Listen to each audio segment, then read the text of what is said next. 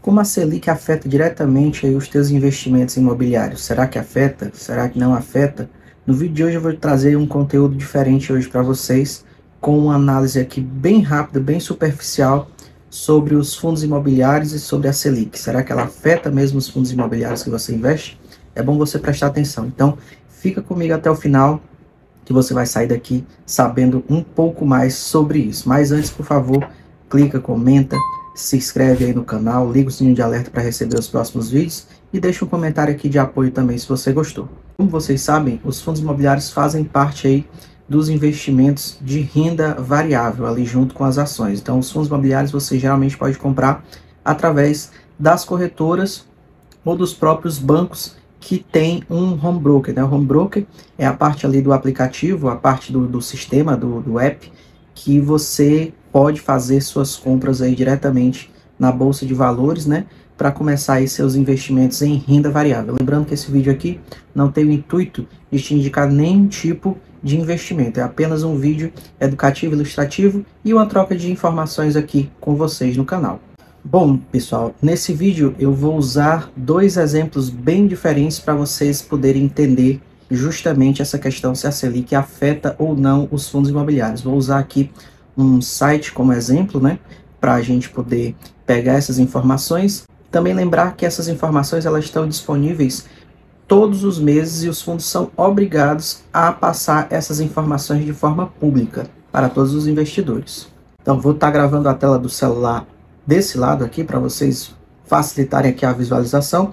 E no vídeo de hoje eu vou estar tá usando aqui um site chamado Stato Invest, um bom site aí para você fazer suas análises diárias, suas análises mensais, semanais, quinzenais sobre os fundos imobiliários que você tem interesse de investir ou que você já investe. Vou entrar aqui no site para vocês verem aqui melhor e aqui já vou direto na pesquisa, tá gente? Ó, tô aqui com o celular, né, na mão e vou aqui para um, dos fundos imobiliários mais famosos e mais é, que tem mais investimentos aí no Brasil.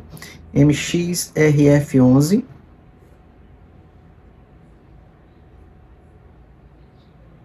Ó, ele já carrega aqui, você vê que nos Estados Invest, ele tem aqui uma, uma panorâmica, aqui um pente fino sobre cada fundo imobiliário que você deseja investir. Aí tem os indicadores, né? Ó, geral, contábil, portfólio, aqui em cima e comunicado. E aqui ele mostra o valor do fundo, aqui mostra também a rentabilidade anual, né? Que é o dividend yield, aqui se ele valorizou, se ele desvalorizou, e a média aqui dos valores das últimas 52 semanas. É uma coisa, é um, aqui é um, um, um site bem legal para vocês explorarem aí, para você aprofundar seus conhecimentos sobre fundo imobiliário, tá? Como vocês podem ver aqui, ó, os rendimentos que pagou, subscrição, né?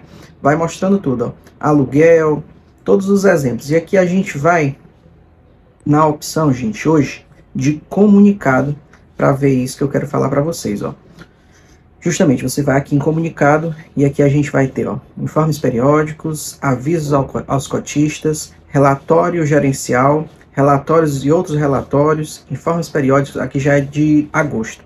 Agora eu vou me ater aqui, justamente, ó, aqui ainda não chegou o de setembro, mas eu tenho aqui o relatório gerencial de agosto, tá, gente? O relatório gerencial é justamente a parte que eu falei que, que os fundos são obrigados a emitir aí, a passar publicamente todos os meses para os seus cotistas. Então vamos abrir aqui. Já abri aqui, ele não abriu como PDF, que eu estou com outro aplicativo, mas vou mostrar para vocês. Como vocês podem ver, ó, são muitas páginas bem detalhado aí de tudo que você quer saber sobre o fundo imobiliário que você está pesquisando. A gente vai abrir aqui rapidinho, vai passar uma panorâmica aqui, uma pincelada bem rápida, tá? Passando aqui já, porque para o vídeo não ficar tão longo.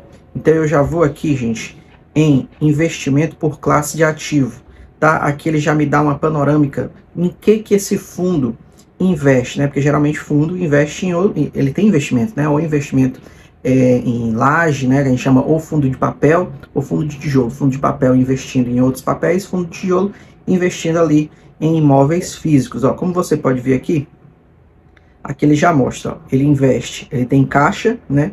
Ele tem aqui permutas financeiras, em outros FIIs e aqui em CRIs, né? Que são os recebíveis aí imobiliários, que são fundos que investem em crédito privado ou renda fixa, né? Então, eu vou aqui passar mais para vocês poderem ver, ó, investimento ativo, essas coisas aqui, a gente vai rapidinho aqui para vocês verem se o MRFX11 ele vai ser muito afetado ou pouco afetado aí pela Selic. Aqui tem um relatório mais geral, mais, mais detalhado do que em que, que o fundo investe. Aí quando você vai olhar aqui nessa, nessa tabela na página 9, gente, são 23 páginas, tá? Deixa eu voltar aqui, peraí. Na página 9, você amplia aí para você ver no seu fundo e aqui mostra o indexador do fundo. Eu não estou conseguindo ampliar aqui, mas deixa eu mostrar aqui, vou conseguir aqui para vocês. Tá ali o indexador. Vocês estão vendo aqui, não estou conseguindo ficar muito tempo aqui, mas está aqui, ó. É, IPCA+, né, que é a inflação, CDI. Para você praticamente olha todo aqui e praticamente está quase todo em IPCA, né, na inflação, e parte no CDI. Então vamos dizer ali que seja 50-50, mas ali embaixo eu estou vendo também ó, no IGPM, eu vi aqui investimentos no IGPM, e acho que só. IPCA, CDI e IGPM. Como é um fundo mais equilibrado né, nas suas, nos seus investimentos, esse fundo provavelmente vai ser menos afetado aí por essa baixa da taxa Selic. Agora eu quero mostrar para vocês um outro fundo para a gente ver e exemplificar melhor aqui para que fique assim esse antes e depois ou esse A e B aí como vocês estão vendo um outro fundo divergente diferente desse fundo que a gente está mostrando aqui agora. Então voltando aqui ao Status Invest agora eu vou buscar pelo fundo chamado KNCR11 que é um fundo aí administrado pelo Itaú né? O Kinea Rendimentos Imobiliários. Como vocês estão vendo o valor é diferente valorização, tudo aqui é diferente, ó. Quanto ele valorizou, qual foi a média ali do valor das últimas 52 semanas, o mínimo foi 93, o máximo foi 102. Aqui está dizendo que teve uma desvalorização esse mês, dividend yield até mais alto do que o MRFX11. E aqui as mesmas coisas como eu mostrei no começo. A gente vai diretamente aí em comunicado e vai procurar pelo mesmo relatório. Relatório gerencial, tá, gente? Ó, vou abrir aqui, já tinha feito download antes. Agora abrindo aí o KNCR11. E vocês estão vendo aqui, são menos páginas, mais resumido, mas também tem muito detalhe aqui sobre esse fundo imobiliário. Como você pode ver, já que no início ele já mostra que a base dele é em CDI mais 2,40 ao ano. Então ele já está dizendo praticamente que o CDI é a maior parte aí do investimento do KNCR11. Ele está falando aqui, rendimento mensal entre 103% do CDI líquido, né, de imposto, já livre de imposto de renda.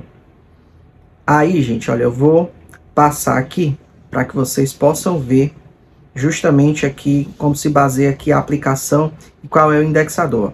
Como vocês estão vendo, é aqui pouco ele está exposto à inflação, está tá mais aí exposto um pouco à Selic e praticamente aqui, ó, quase todo o total, quase toda totalidade em CDI, ó, 95,4.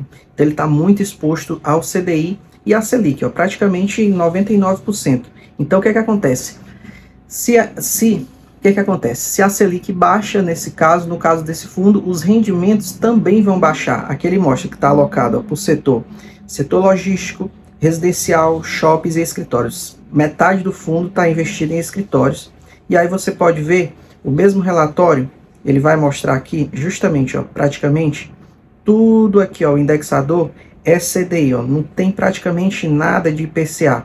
Então esse fundo aqui ele é praticamente todo voltado para o CDI em investimentos que se baseiam no CDI, que é aquela taxa bancária, né, é certificado de depósito interbancário, e isso acaba que vai afetar aí um pouco a cada vez que a Selic for baixando nos próximos meses, nas próximas reuniões do Copom, é, do Banco Central, esse fundo sim vai cair aí os rendimentos e com, e com isso é, provavelmente vai repercutir também aí no que tu recebe ou então na valorização ou desvalorização desse fundo imobiliário. Então, é, esse é um vídeo aqui um pouco mais, não tão aprofundado, mas que mostra aí uma parte mais técnica para que você possa se acostumar com as análises aí de renda variável e aqui especificamente hoje sobre fundos imobiliários. É, espero que você tenha gostado. Se ficou alguma dúvida, deixa aqui nos comentários, curte, comenta se você está gostando desse tipo de vídeo, deixe seu comentário aqui de apoio, liga o sininho de alerta e até o próximo vídeo.